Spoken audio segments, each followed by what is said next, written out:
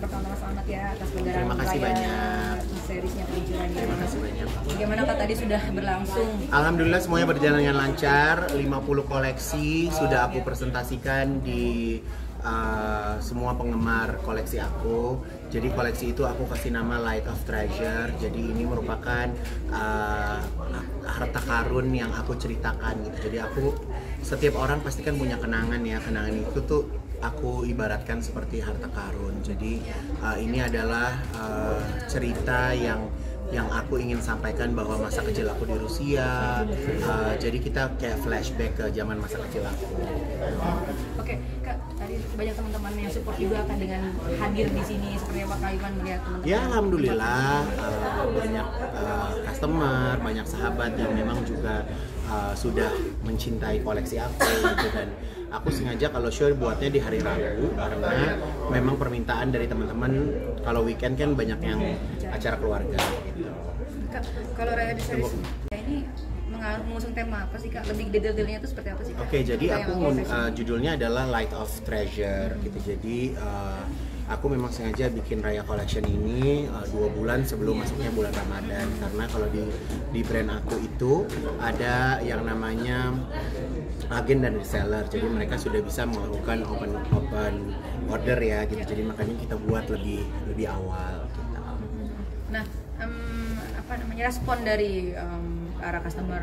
Kalau responnya manja? belum tahu ya karena belum Nah, kalau sempat dari sosial media gitu, Kak? Sosial media belum buka juga alhamdulillah. Jadi uh, ya kalau aku sih berharapnya namanya desainer pasti kan ingin uh, membuat satu tren ya gitu kan, membuat satu tren, membuat sesuatu yang baru di industri fashion gitu. Jadi dan buat aku fashion itu kan semua masing-masing udah punya penggemarnya, tinggal mereka memilih aja.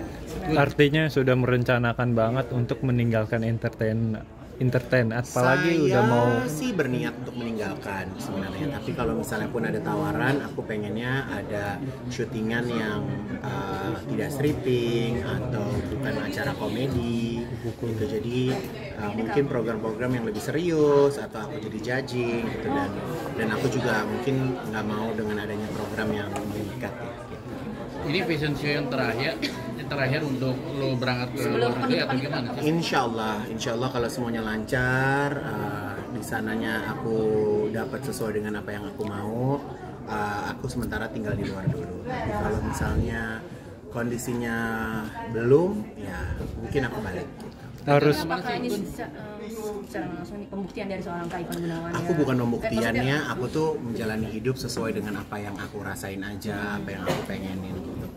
Kalau misalnya dulu masih punya program kan uh, punya keterbatasan ya, nggak bisa ninggalin atau nggak bisa pergi gitu. Kalau sekarang kan nggak punya kasarnya nggak punya siapa-siapa yang ditinggalkan, jadi ya udah anytime bisa pergi. Gitu. Gun, Apa rencana ke mana sih? jalan-jalan dulu healing atau menghilangkan uh, penat gitu? Bukannya healing ya, karena memang ini udah rencana udah lama sih, Hmm, udah lama ya kak? udah lama. Kapan eh, keberangkatan rencana kak? Dan Insya Allah tanggal 3 kalau nggak tanggal 4 Ke mana sih Gun? Ada deh. Ya, pokoknya kan sosial media kan terus aktif, postingan juga terus jalan. Aku juga bisa kerja lewat mana aja gitu. Terus di sana ngapain tuh nanti? Mau jadi wartawan sih kayaknya. di sana yang jelas kalau aku sih uh, ada dua rencana aku. Yang pertama apakah aku mau kuliah, yang kedua adalah aku mau cari uh, peluang untuk bisa um, apa ya membuka bisnis fashion aku di sana. respon dari sahabat-sahabat artis apalagi Ayu Nah, gitu aku nggak peduli sama sahabat artis, aku nggak main sama artis sih. Kaigun kan legasi Kaigun di sini sebagai desainer sudah sangat mantap lah ya Iya. diakuin. Nah, apakah emang benar-benar ingin meninggalkan atau kalau Ya, kalau karya kan tetap ada di sini. Karya tetap ada di sini, bisnis tetap ada di sini. Ya mungkin ini kan dalam rangkaian uh, ekspansi ya gitu kan. Kalau siap semua orang juga pasti kan pengen meluaskan lagi uh, apa ya pasarnya ya gitu mungkin seperti itu. Kalau di sini kan store udah ada 17 ya kan pelanggannya banyak masa mau ditinggalin lagi pula kalau di bisnis retail ini kan semuanya udah berjalan dengan sendirinya masing-masing store punya staffnya mereka bisa jalan sendiri gitu. Berarti Ada kita boleh bilang negara sih yang ingin disambangi Kalau beberapa negara sih, kalau udah di Eropa kan mau ke mana aja gampang ya. Jadi tinggal bisa uh, bisa apakah naik train, apakah naik pesawat, pindah-pindah. Berarti nggak kalian stay Ivan Gunawan ya? go internasional begitu mereka. Memang sudah go Nggak internasional. usah Apa kayak merambah gitu Eropa sih kak? Nggak, uh, karena aku lebih nyaman tinggal di Eropa sih. Hmm, kenapa alasannya kayak gitu? Pengen aja. Kalau bosen juga ya pindah lagi, ntar ke Cawang atau ke, atau ke Cilandak gitu. Tapi yang jelas kan ya mau tinggal dari mana kan akses pekerjaan bisa dengan uh, handphone sih. Rencananya kapan mau berangkat? Tanggal 3 Kak persiapannya sudah jauh mana? Maksudnya sudah sampai tempat tinggal kak, Eh, izin tinggal dan sebagainya udah udah beres berarti ya kak? Sem- semua udah di udah diatur sama manajer aku sih tinggal aku packing aja Tapi di sisi Indonesia tetap uh, berjalan lah ya kak ya. ya berjalan lah masa ribuan orang aku berhentiin Kalau Terus- di sana tiba-tiba terus uh, di Indonesia ada telepon untuk uh, mengisi sebuah acara, artinya dapat program lah ya. Nah, Ada sesuai harapan Kak Ivan, Nah, gimana tadi uh, bisa jadi janji gitu, Kak?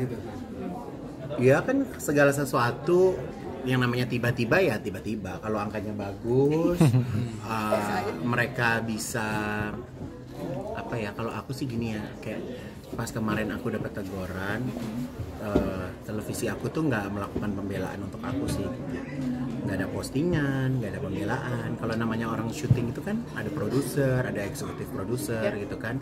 Beda kayak kita wawancara infotainment kan nggak ada yang tanggung jawab. Kalau program kan ada ada yang ngurusin gitu. Kalau kayak aku syuting MNC ada produsernya. KDI ada produsernya. Apa yang mau dipakai kan semuanya kan Disiapin. udah disiapin. Udah jadi kalau menurut mata mereka approve ya kan harusnya jalan. Tapi di saat aku dihujat satu Indonesia nggak ada yang belain aku. Jadi ya udah aku berdiri di atas kaki aku sendiri aja tanpa berharap minta dibela tanpa berharap minta ditolongin aku sih enggak sih gitu jadi aku rasa ya udahlah ya aku punya pekerjaan lain kan jadi aku hempaskan aja Ayu dan kawan-kawan mungkin juga belum dijawab, apakah akan balik lagi ke Jakarta atau ke Indonesia? ya kalau saya sih kerja bukan hanya sesuai harga aja ya gitu kan Iya. Toh aku juga di Brownies juga kan bayarannya juga bagus. Kalau nggak bayaran bagus aku nggak bakal bertahan selama enam tahun kan gitu. Kerja bukan bukan karena uang, tapi tan- karena hati kita tuh ada di situ. Kak, tapi Kak Ivan sendiri ada sedikit kekecewaan nggak sih? Maksudnya kan Kak Ivan juga di Muhammad ya di Instagram KPI juga ada mm, komentar bahwa itu tuh fashion dan sebagainya. Mungkin orang-orang itu nggak paham Kalau gitu saya nggak kecewa nggak saya tinggalin programnya, Iya kan?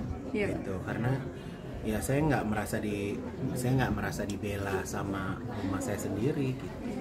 Dan di situ saya yang saya nggak sukanya KPI nulis nama saya gitu. Di situ. Sedangkan yang mungkin saya jadi desainer udah 20 tahun, mereka kerja di kantor itu mungkin berapa hanya berapa tahun gitu kan. Lagi pula ini kan masalah fashion terus kalau misalnya ini masalah misalnya dibilang kayak eh, karakter seperti perempuan terus aku ngomongnya harus gimana orang gue depan ibu gue aja begini ya kan? Masa gue depan depan dia gue harus kaku-kaku badan gue mau ngapain? Hidup cuma satu kali gitu kan? Jadi aku merasa bekerja itu harus di tempat yang tepat.